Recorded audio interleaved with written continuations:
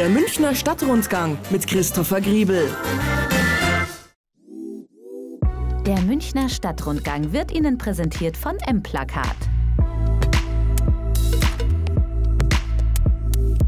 Damen und Herren, er schaut zwar nicht so aus, aber dieser Mann hier ist eigentlich, was den Faschingszug in München betrifft, der wichtigste Mensch in diesem Jahr.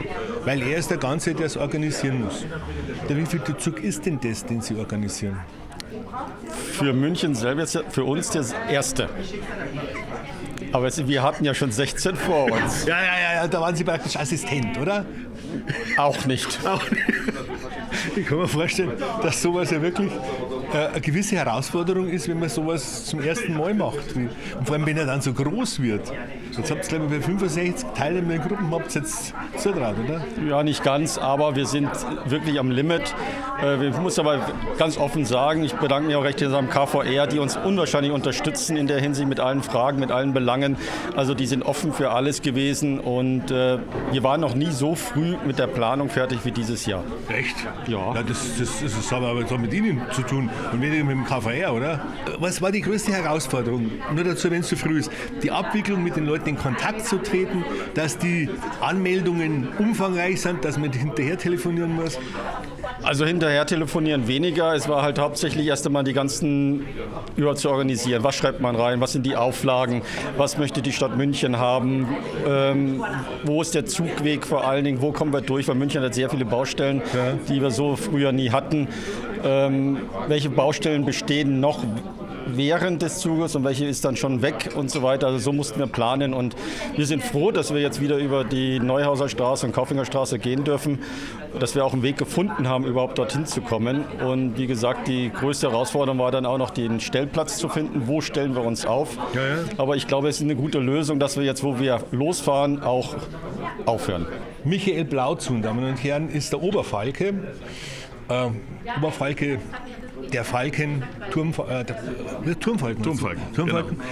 die, die eigentlichen damischen Ritter sind. Also sie sind übers Jahr getarnt, das muss man wissen. Und dann plötzlich, so Anfang des Jahres, setzt dann die Metamorphose ein, oder? Genau, genau. Dann wechseln wir und dann äh, legen wir mal kurz das Turmfalken-Emblem ein bisschen ab und dann werden wir zu den damischen Rittern. Und so kennt man uns in München und äh, aufgrund der Faschingsbälle, des Faschingsumzuges, des Kinderballs, was wir alles so Schönes im Fasching machen. Ja. Und ja.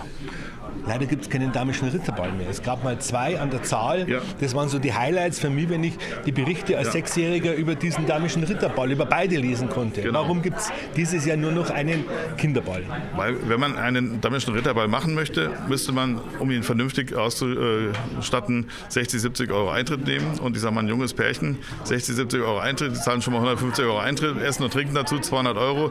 Zahlen junge Leute nicht, die holen sich dafür gescheite äh, Eintrittskarten fürs Olympiastadion und schauen sich ein Konzert an. Sie haben unter diesen vielen Anmeldungen auch eine Anmeldung vom Radlentscheid gehabt, die Sie aber ablehnten. Ja. Worauf Ihnen die, wie sagt man, der Wind ins Gesicht geweht ist. Warum haben Sie das gemacht? Ganz einfach. Es ist ein Faschingsumzug. Wir wollen gute Laune verbreiten. Das heißt, äh, wir wollen ja, Stimmung machen, äh, positive Stimmung und äh, es nicht als politische Bühne nutzen. Wir haben natürlich die Stadtratsfraktionen wieder alle eingeladen, auch mit einem eigenen Wagen dabei zu sein. Ähm, aber wir möchten nicht, dass es eben eine Bühne ist, wo man ja, ich sag mal, politische Meinungsmache machen kann. Und insofern äh, haben wir gesagt, wir fangen hier an, dass wir sagen, egal, man kann zum Radlentscheid stehen, wie man möchte. Man kann das gut finden, man kann es weniger gut finden. Wichtig ist halt, wenn wir eine, einen Bürgerentscheid zulassen, dann wissen wir nicht, was nächstes Jahr an Bürgerentscheiden kommt und dann heißt es, ihr habt letztes Jahr einen zugelassen, also müsst ihr nächstes Jahr auch wieder einen zulassen. Wo sind Sie her? Ich? Ja. Ich bin Niedersachse. Niedersachse, okay. Darum gibt es jetzt nicht so die großen Faschingszüge, aber wenn Sie sich an die Faschingszüge in Düsseldorf oder Köln erinnern, da ist ja praktisch jeder Wagen eine politische Aussage. Ja. Warum, warum haben Sie nicht, äh, man könnte doch sowas dann auch als, wie soll ich sagen, als Chance nehmen, dass in München der Faschingszug auch mal so ein bisschen seine Erscheinung ändert. Was die Faschingszüge, äh, was die Faschingsvereine machen als Motto, das bleibt ihnen natürlich selber überlassen. Aber wie gesagt, eine, ein Bürgerentscheid ist für mich eine, ein, ein politisches Instrument und das hat auf einem Faschingszug einfach nichts zu suchen. Wie gesagt, ich, ich, finde es gut, was der Radlentscheid macht. Aber ich möchte hier einfach Vorsorge treffen, dass wir nicht in Zukunft da irgendwie äh, da Probleme bekommen. Ja. Jetzt meine letzte Frage. Mal so ein Faschingszug verursacht ja Kosten. Mhm. Wir haben heute diese Pressekonferenz gehört, das ist für die Bürger kostenlos.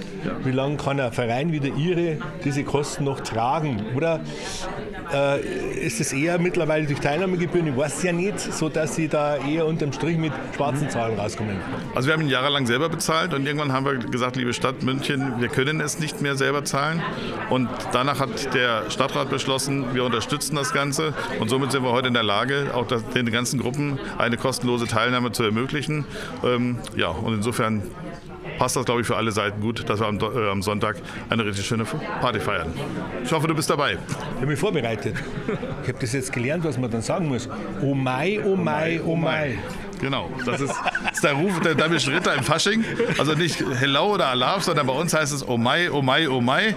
Und das wird in erster Linie natürlich von unserem Herzog Kasimir, der hoch zu Ross, äh, ja, ja. dann den Faschingszug anführen Wir waren ja dabei, wie das Pferd auf dem Wagen. Ja, genau. Man muss halt dann zurückrufen, Oh Mai, kann man, kann man sich merken. Also, ist nicht schwierig. Ja, ja, ja.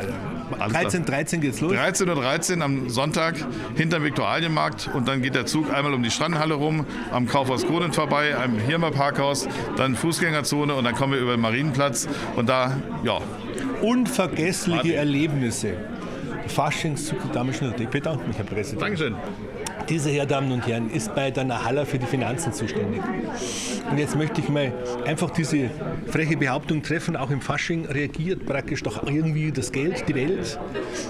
Ihr feiert dieses Jahr 130-Jährige. Äh, habt nicht Angst, dass dann äh, bei diesem Glanz die, die damischen Ritter da auf sich ziehen, natürlich durch Veranstalter und die Anführenden in diesem Zug ihr so ein bisschen in den Schatten geratet.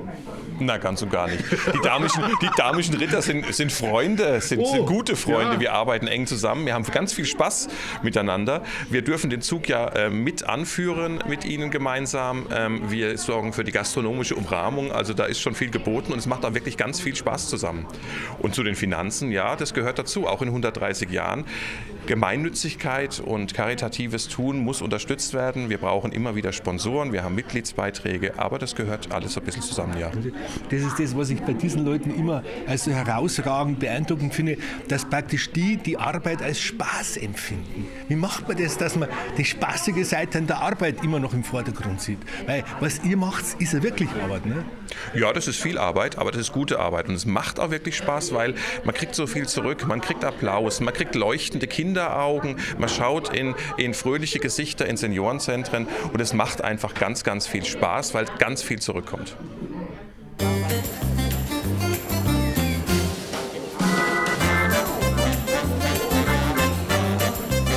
Der Münchner Stadtrundgang mit Christopher Griebel.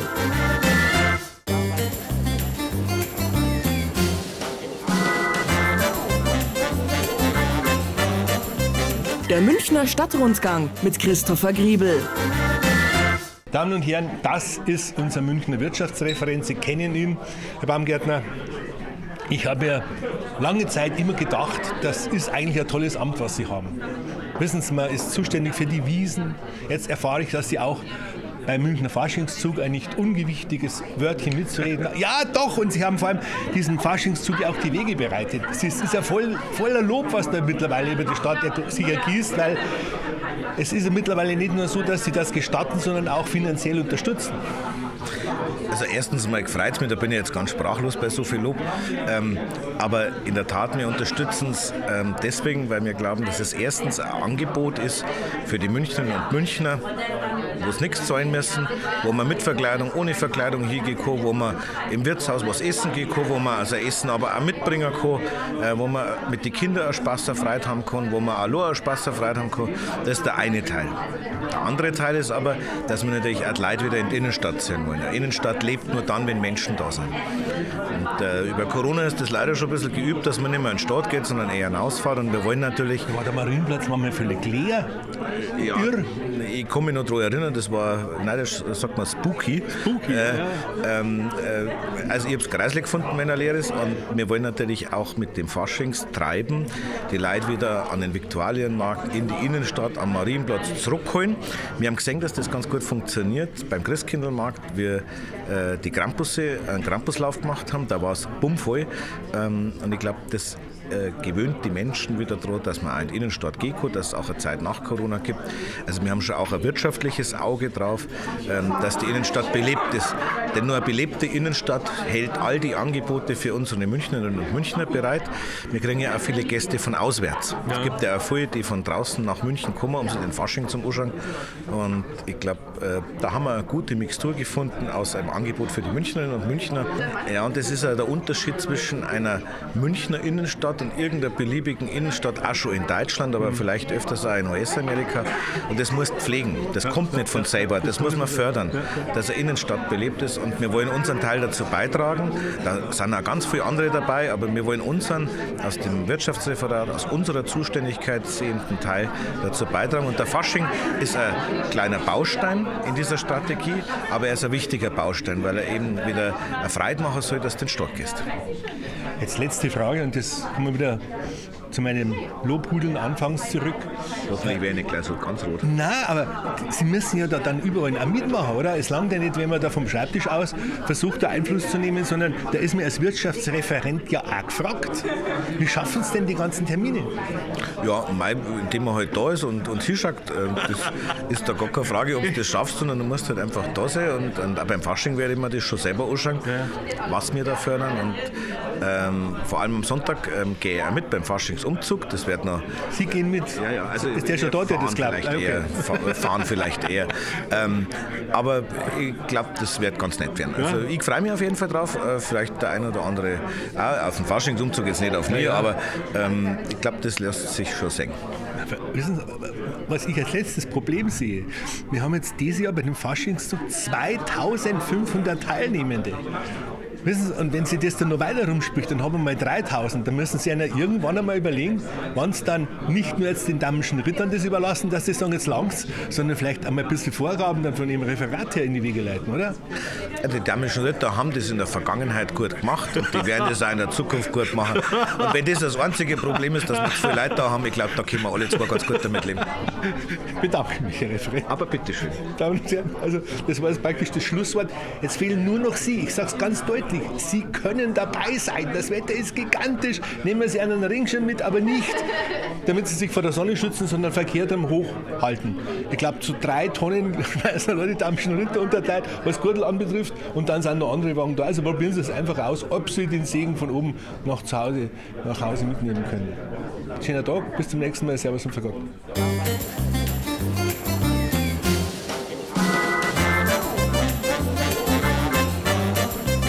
Das war der Münchner Stadtrundgang mit Christopher Griebel. Der Münchner Stadtrundgang wurde Ihnen präsentiert von M-Plakat.